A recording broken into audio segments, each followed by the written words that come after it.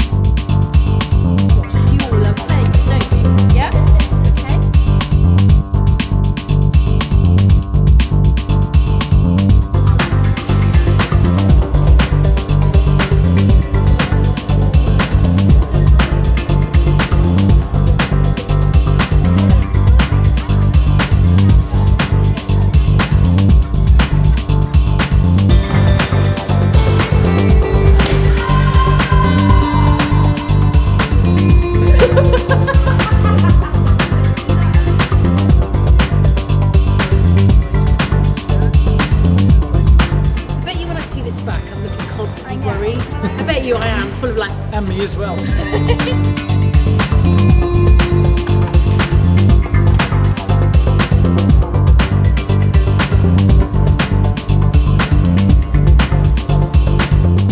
I have to say this is the most exciting project we've had to date. I've been working for the governing body for 20 years.